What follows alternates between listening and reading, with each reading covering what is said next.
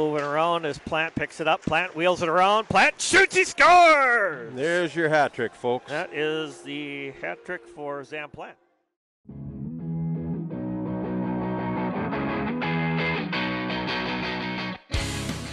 My dad and grandpa both um, hockey players and coaches, so uh, hockey's kind of been a part of my life since I can remember. Um, grew up playing in Hermantown in the outdoor rinks all the time, so um, that's kind of led me to being here. Just going through the Hermantown program, ended up being able to win a state championship for the Hawks last year, which is the best thing ever, and then now with the Steels. Chicago Steel forward Zam Plante was born into hockey, and growing up in Hermantown, Minnesota, where the community lives for the sport, only helped instill his love for the game even more. I think it's cool. Like everybody's there trying to get you better, like help you get better. Um, everybody's supportive of hockey program, so just being from someplace that loves hockey too is, is a dream come true because that's what that's what I love hockey too. So playing Minnesota high school hockey at Hermantown was a full circle moment for Plante, who dreamed of one day throwing on the Hawk sweater. It's a dream come true. Like you watch it from like I've watched it since I can remember because my grandpa was always the coach there. Um, I've always looked up to being the high school guy, and then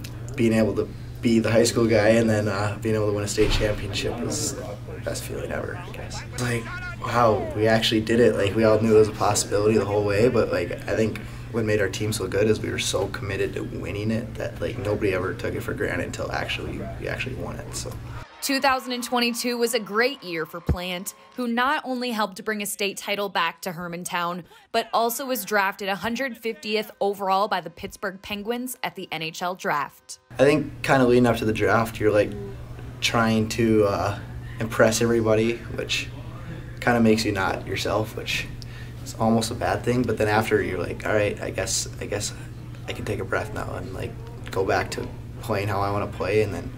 Um, getting back to uh, hopefully someday playing in Pittsburgh. Uh, it was really cool, um, great organization, so I couldn't really be happier with where I went. Um, I was like so fired up. Uh, uh, my whole family and grandpa were there to in Montreal to be with me when it happened, so it was really cool.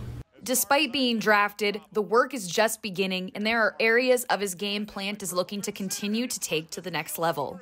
I like to make plays. Um, I think take, take pride in not getting scored on, so I think that's um, big attribute to my game. This season, probably want to get stronger would be a big thing. Uh, not get knocked off the puck as easily. Next year, the young forward will fulfill another lifelong dream as he returns home to northern Minnesota, where he will play for the Minnesota Duluth Bulldogs. My dad played there and was a coach there, and I, it's kind of like playing for the Hawks. Like that's all I ever really wanted to do. Um, always been a Hawks and a Bulldogs fan, so when I got the opportunity, it's like, right, I want to go to Duluth because it's where my heart is, I guess.